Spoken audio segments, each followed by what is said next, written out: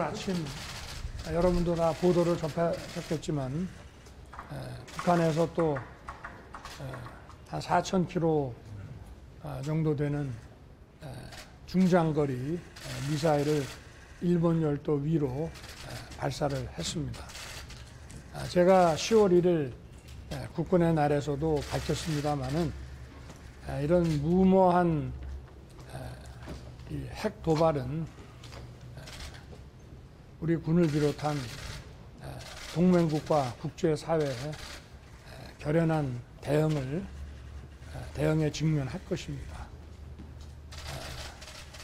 이따 9시부터 안보실장 주재로 NSC가 개최가 되고 저는 중간에 참석할 계획입니다. 아, 오늘 아침 조간도 보니까 경제에 대한 것들이 많이 있습니다.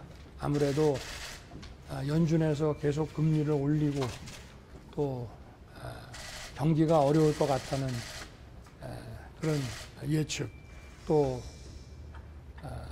계속 지금 그 조야에서 위기론이 나오고 있습니다.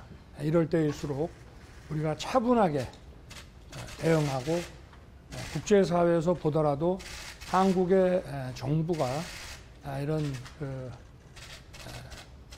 이런 경제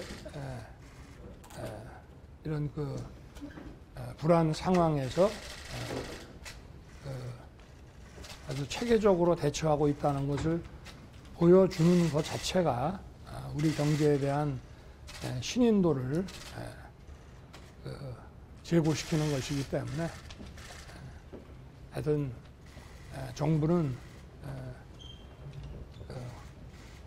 늘 건전한 재정을 유지하면서 민생을 챙기고 그리고 또 우리가 아, 그 성장 동력도 계속 살려가면서 이렇게 잘 챙겨가겠습니다.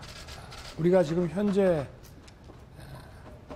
그 엊그제도 9월 27일자 뉴욕의 피치사에서 대외 그, 그 신용도를 평가했는데 우리가 그래도 일본보다도 두 단계 높은 A, A-로 아직은 대외적인 이런 평가가 좋은 상태이고 그리고 지금 반도체 그 가격 하락 등으로 인해서 또 수입 원자재 가격이 상승해서 물가가 아니 저 지금 무역 적자가 지금 좀 발생하고 있지만 연말 누적 기준으로 해서는 경상수지가 그래도 흑자를 보일 것으로 예측을 하고 있습니다.